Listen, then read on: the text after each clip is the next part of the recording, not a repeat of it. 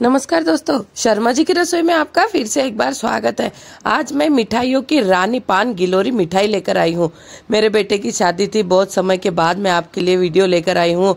और क्योंकि काफ़ी बिज़ी शेड्यूल चल रहा था तो आज हम बनाएँगे। खाने में बहुत ही ज़्यादा स्वादिष्ट लगती है ये पान मिठाई। पान गिलोरी नाम है इस मिठाई का। इसके लिए हमने चार टाइप के ड्राई फ्रूट ले लिए हैं। आप ड्राई फ्रूट आपकी पसंद से ले सकते हैं। सिर्फ़ हमें खारे पिस्ता नहीं लेना है इसके अंदर। मैंने तीन टाइप के ड्राई फ्रूट लिए हैं, थोड़ा मावा भी लिया है, थोड़े काजू लिए हैं, थोड़े पिस्ता लिए हैं और थोड़े बादाम लिए हैं। और ये जो हमने खोया लिया है, ये ऑलरेडी मीठा वाला खोया है। मार्केट में अक्सर मीठा वाला खोया भी अवेलेबल होता है। अगर आपके पास यह ना हो तो आप कंडेंस मिल्क भी ले सकते हैं। तो अब हम पान गिलोरी मिठाई बनाने वाले हैं। इसके लिए हमने ये पान चटनी ली है। जो कि बाज़ार में आसानी से मिल जाती है। काफ़ी टेस्टफुल होती है ये पान के अंदर डालने वाली चटनी। इसके अंदर पान में डालने वाली सभी सामग्री हम डाल सकते हैं। ये आसमान तारा है, जो कि ठंडा ठंडा कुल कुल टेस्ट देता है पान के अंदर वाला। और अब हम थोड़ी लौंग ली है हमने। आप इसके अंदर इलायची भी डाल सकते हैं, आपको अगर पसंद हो तो। और अब हम इन ड्राई फ्रूट को मिक्सी के जार के अंदर थोड़ा बारीक पीस लेंगे। बहुत ज़्यादा पाउडर जैसा भी ना हो। हल्का सा थोड़ा सा मोटा मोटा होना चाहिए, क्योंकि हम सुपारी इसके अंदर ऑलरेडी डालने वाले नहीं है। तो थोड़ा बेहतर स्वाद आ जाए। एक एक करके बारी बारी करके हम ड्राई फ्रूट को पीस लेंगे। लॉकडाउन का समय है, पान खाना बहुत ही मुश्किल है। पान खाने के लिए सभी अवॉइड करते हैं। तो हमने इस शादी के अंदर पान गिलोरी मिठाई रखी थी। बहुत ही ज़्यादा टेस्टी हेवी खाना खाने के बाद सभी को थोड़ा पान खाने में बहुत ही मज़ा आता है। तो अब ऐसे समय में यहाँ अगर पान गिलोरी मिठाइयों की रानी मिल जाए तो इसका स्वाद ही बहुत निराला होता है। पिस्ता भी हमने, ये पिस्ता बिल्कुल नमकीन वाले नहीं लिए हैं हमने। सभी ड्राई फ्रूट हमने सेम क्वांटिटी में लिए हैं। और अब हम ये जो आसमान तारा है, बिल्कुल ठंडा ठंडा स्वाद देने वाला, इसे भी बिल्कुल बारीक पाउडर फॉर्म में कर लेंगे। बारीक पाउडर फॉर्म में करने के बाद अच्छे से यह मिक्स होना चाहिए। तो हम इसी प्लेट के अंदर थोड़ा सा प्रेस करते हुए इसे बिल्कुल मैश कर लेंगे। यह मिठाई खाने में बहुत टेस्टी होती है, लाजवाब होती है और बहुत कम जगह पर यह अवेलेबल होती है। हम ये जो पान गिलोरी की मिठाई बनाने वाले हैं, यह बहुत ही ज़्यादा टेस्टी होती है। और ना कोई घी होता है इसमें, ना कोई ऑयल होता है इसके अंदर।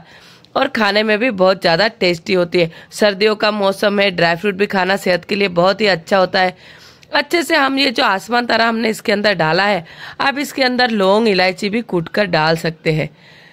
और अब जो हमने ये मीठा वाला मावा लिया है, इसे थोड़ा सा गरम कर कर थोड़ा सा सॉफ्ट बना लेने वाले हैं। गला भी काफ़ी ख़राब हो चुका है मेरा, क्योंकि शादी का मौसम था अभी, और हमने इसे गर्म करके थोड़ा सा सॉफ्ट बना लिया है। मीठा वाला खोया है ये, आप कंडेंस मिल्क भी बिल्कुल ले सकते हैं।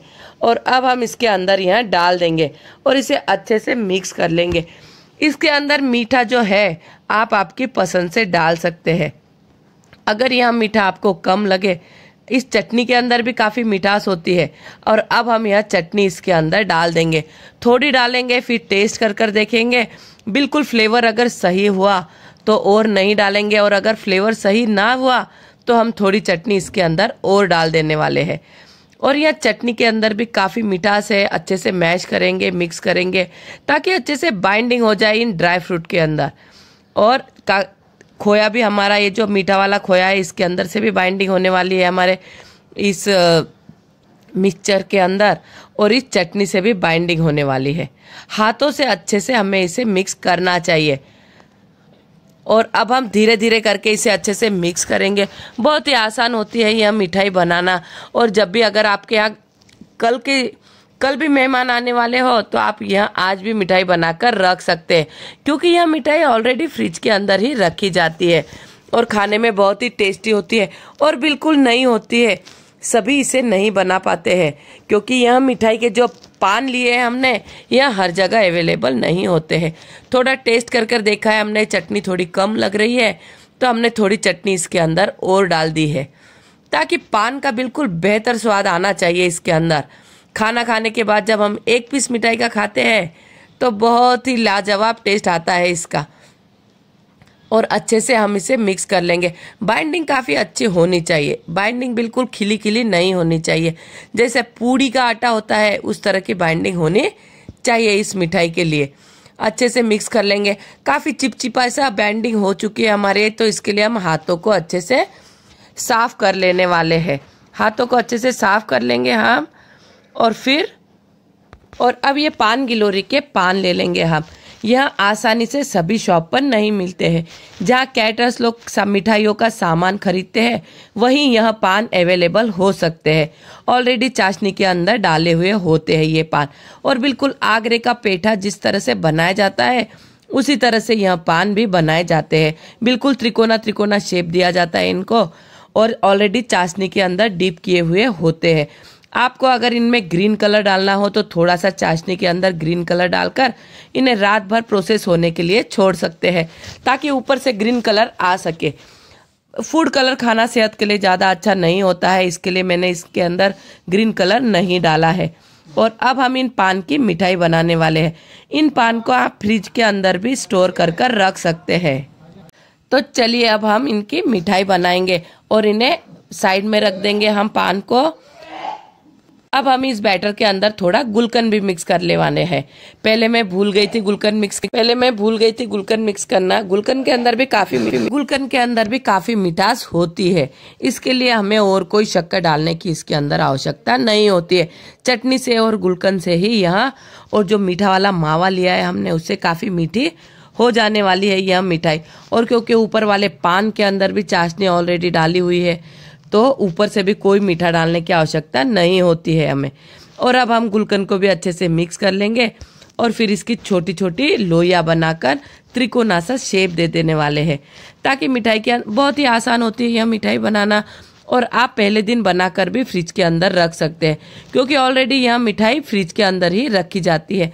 और जब हम सर्व करें, तब भी आप अगर नीचे बर्फ़ के क्यूब रख दे और ऊपर अगर प्लेट के अंदर यह मिठाई रखे तो इसका स्वाद और भी ज़्यादा बढ़ जाता है, क्योंकि पान, हेवी खाना खाने के बाद सभी को ऐसा पान खाने का बहुत ही ज़्यादा आनंद आता है। इसके लिए हमने यह मिठाई बनाई है, क्योंकि लॉकडाउन का समय है, पान खाना सभी लोग पसंद नहीं करते हैं, और अब हम हाथों को अच्छे से साफ़ कर लेंगे। बिल्कुल चिपचिपासी हो गए हमारे हाथ ये। काफ़ी मिठास होती है गुलकन के अंदर और चाशनी के अंदर। और अब हम एक प्लेट के अंदर इस तरह से फॉइल लगा लेंगे, ताकि जो ये चाशनी है हमारी प्लेट के अंदर इधर उधर ना जाए, इस फॉइल के ऊपर ही रहे। अगर फॉइल हम नहीं लगाएँगे तो चाशनी इधर उधर प्लेट के अंदर चली जाने वाली है और मिठाई के अंदर चाशनी कम ही रहने वाली है। इस तरह से थोड़ा सा पैकिंग कर लेंगे हम इस प्लेट को और फिर इसी के अंदर हम यह मिठाई रखेंगे। और फॉइल के ऊपर जब चाशनी आती है तो वहाँ सूखती भी नहीं है। हम दो दिन तक भी यह प्लेट फ्रिज के अंदर इसी तरह से रख सकते हैं। और अब हम इसके ऊपर मिठाई तैयार कर कर रखने वाले हैं।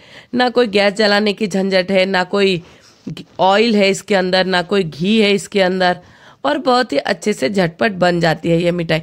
और बिल्कुल न्यू टाइप की मिठाई हो जाती है। कुछ अगर नई मिठाई बनाना चाहते हैं ये तो बहुत ही बेहतर ऑप्शन है ये। और अब हम इस तरह से छोटी छोटी गोली को बनाकर इसकी त्रिकोणी त्रिकोणी लोई सी बना लेंगे। ड्राई फ्रूट भी आप इसके अंदर अखरोट डाल सकते हैं, खजूर डाल सकते हैं, आप इसके अंदर जरदारू डाल सकते हैं। आप आपके पसंद से डाल सकते हैं। सिर्फ़ ध्यान रहे, खारे पिस्ता हमें नहीं लेने हैं। थोड़े थोड़े से मोटे भी ड्राई फ्रूट डाले हमने इसके अंदर, ताकि थोड़ा हम जब चबाए इन्हें तो थोड़ा सा पान वाला फ्लेवर आ जाए, क्योंकि हमने सुपारी नहीं डाली है इसके अंदर। सुपारी खाना सभी लोग पसंद भी नहीं करते हैं।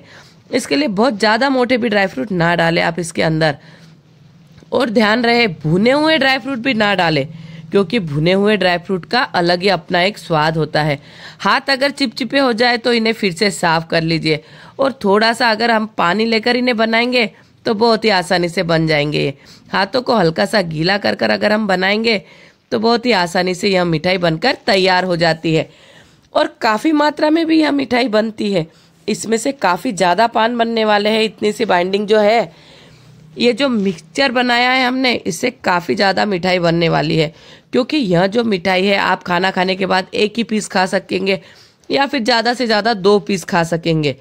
तो इसके लिए यह मिठाई बहुत ज़्यादा बनकर तैयार होने वाली है। बहुत ज़्यादा समय के बाद मैं आपके लिए यह वीडियो लेकर आई हूँ। काफ़ी बिज़ी शेड्यूल चल रहा था, मेरे बेटे की शादी थी और बहुत ज़्यादा लंबे समय तक बहुत ही काम चल रहे थे। मैंने मेरे बेटे की शादी के एंगेजमेंट के भी लाइव वीडियो शर्मा जी की रसोई पर डाले हैं, आप वहाँ भी ज़रूर देखिए। और अब हम इस तरह से सभी लोइया बनाकर तैयार कर लेंगे। ध्यान रहे, हाथों को घी बिल्कुल भी ना लगाए, वरना मिठाई के अंदर घी का फ्लेवर आ सकता है, जो कि अच्छा नहीं लगने वाला है।